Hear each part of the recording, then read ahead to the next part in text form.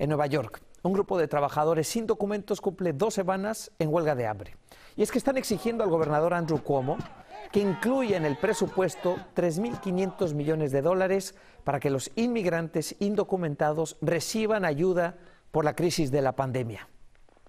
Que hemos trabajado duro, hemos sudado nuestro trabajo, somos 270 familias que necesitamos la ayuda. Señor Andrew Cuomo, pronúnciese si tiene valor.